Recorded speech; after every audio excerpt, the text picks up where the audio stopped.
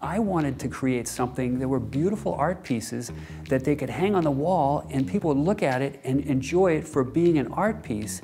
And secondarily, it's a family portrait. I don't know about you, but sometimes I get bored with families just smiling at the camera. Well, of course, a flagship with a bistro is a family around the dinner table enjoying each other, uh, a little bit of wine, bread, cheese, and they're just kind of delighting in each other. So it's a little bit of a nod to classical painting, a little bit of cinematic intrigue, and you put them together and it's, it's a style of portrait unlike any other. For a family that's very interested in it, the first thing that I do is I invite them into the studio and I sit down with them and I say, what's your family all about? What would you like? What would you like to have up on your walls?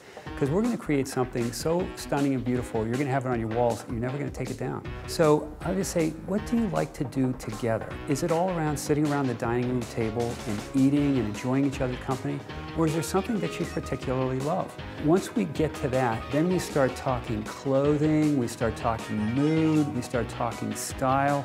Some of the portraits are really, you know, pleasantly engaging the camera. But we also do some that are like a whodunit. We started a very musical theme, so somebody playing guitar or instruments or singing, and we put it together from there. Since then, we've added a dance theme, and we've also put, for younger kids, family around the dinner table playing a game.